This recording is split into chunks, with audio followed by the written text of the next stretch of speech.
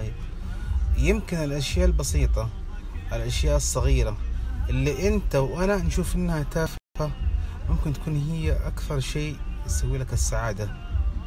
طالع قدامك ورتب أمورك وشوف إمكانياتك الصغيرة صدقني حتلاقي فيها سعادتك.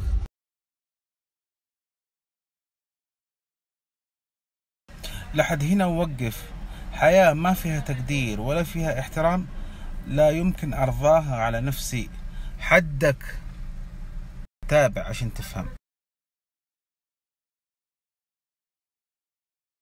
طبعا ما في شك إننا نتمنى كلنا نصير ناجحين. بس في فرق لما أتمنى إني أكون ناجح وجلست حطيت يدي أفكر أتغدى وأقوم أتعشى ومكانك راوح ما سويت أي شيء. وفي فرق بين الشخص اللي يبغى يكون ناجح ويبحث عن أسباب النجاح ويصحى يوميا باكر ويجتهد عشان يكون شخص ناجح.